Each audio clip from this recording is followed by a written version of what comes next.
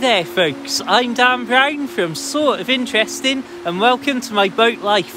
What an absolutely amazing view of Chirk Aqueduct and Viaduct. You don't get that every day. Almost a decade ago, I moored up my first ever narrowboat at Chirk Bank, preparing to spend the winter afloat. The first time that I ever opened the curtains to discover that it had snowed overnight I couldn't believe how fantastic the canal environment looked. Fast forward all these years to the present day, and with the strange circumstances of a third national lockdown, I once again find myself in the area, and once again with an amazing covering of snow. Despite all of the years of boat life that I now have behind me, I still think that Waking up and seeing this sort of scene through your window is one of the most enjoyable experiences in the whole of narrowboat life. Now, that might be because it's rare to get this level of snow in this part of the UK, so snow's always a novelty, and add in this amazing canal scenery, it pushes it to the next level. Or perhaps the fact that I now have a car, so I don't have to go out and wait for a bus or pedal my bike in these conditions plays into why I enjoy it so much. There is very often something else that follows the snow if you live on a boat, and that is people who are unfamiliar with boats saying things like this. Oh, I bet it's cold on that boat. Oh, are you warm enough out there? Have you got your thermals on? And so on. And I personally think that, from my experience at least, this is one of the biggest myths about boat life. And the irony is that my boat during the winter months will be far warmer for far more of the time than almost anybody's house who's ever asked me that question.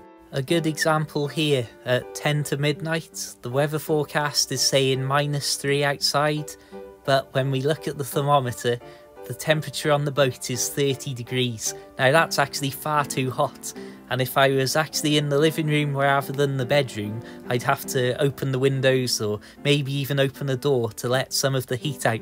And that's not an uncommon thing to do, certainly on my boat when I get a bit carried away with stacking the fire.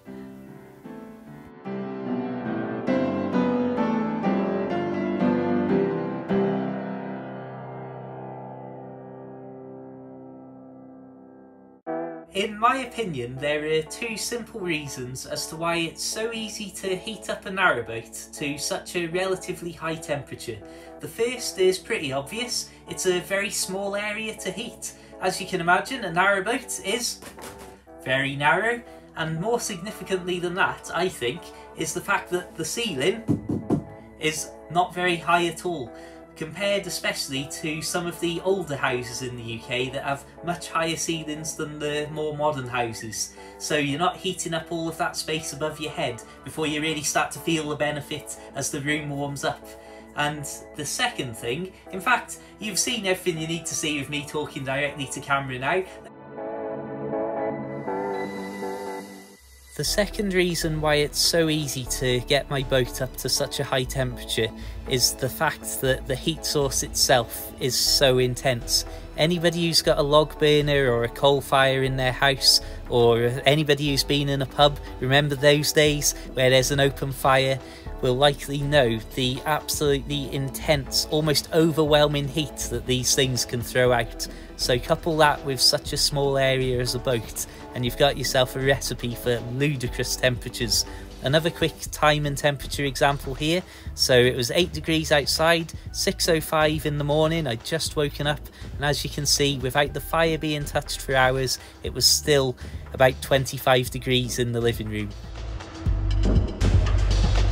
It's important to remember that as we're looking at these amazing and genuinely beautiful snowy scenes, that the reality of a British winter is far more like this than it is these beautiful crisp snowy days. But I'm still walking. more fool me.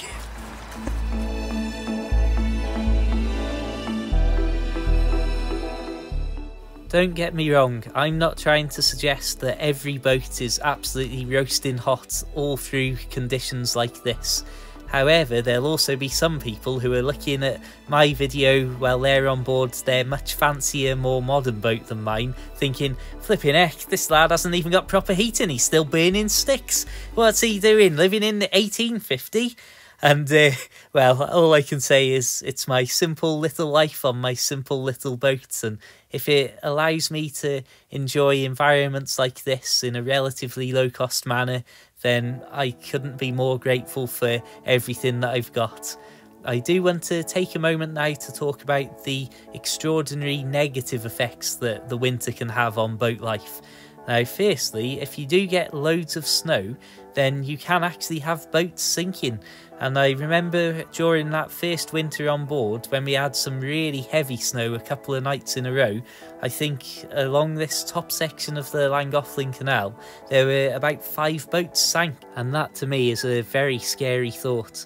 There's also some very overwhelmingly negative things that can happen to the canals themselves at this time of year, with all of the extra rain and water coming out of the sky and seeping into the canals and into the ground surrounding the canals.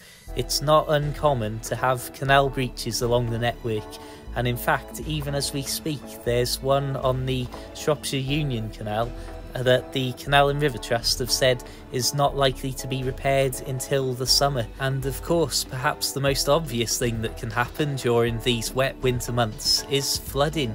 And this is part of why I would be too scared to have my boat on a river during the autumn or winter months and that is that you can see the water level rise and you might not be able to get beneath certain bridges so you'll become stuck and stranded on certain sections of river.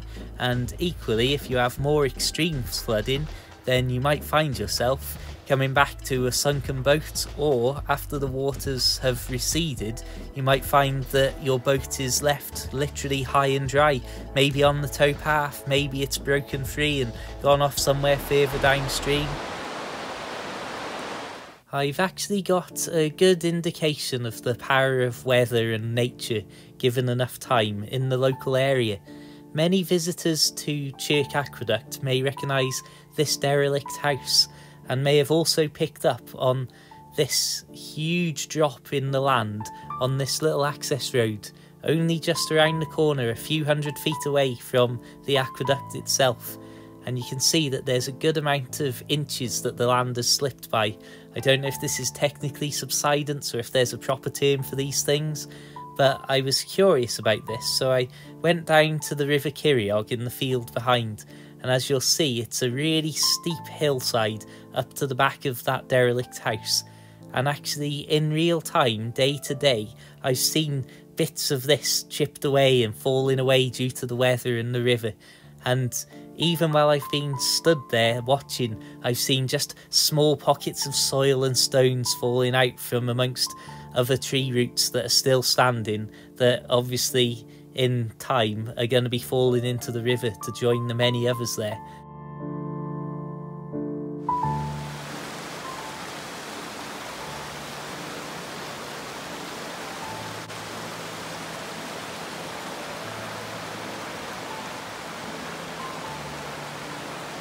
To end this video on a more upbeat note, I'd like to share a few of my pictures in response to a previous video I'd done where I couldn't believe just how many comments and how much people seem to enjoy some of the photos that I'd taken. So thank you very much for that. I also want to say that it's not going to be quite as long until the next video comes out as I struggled with this video because I had two separate pieces I was working on at the same time which the one half has basically morphed into its own entire other video so that will be coming in the next few weeks so thank you so much for your patience and thank you for the support as always I'd like to also say thank you to all the channel members and the PayPal supporters.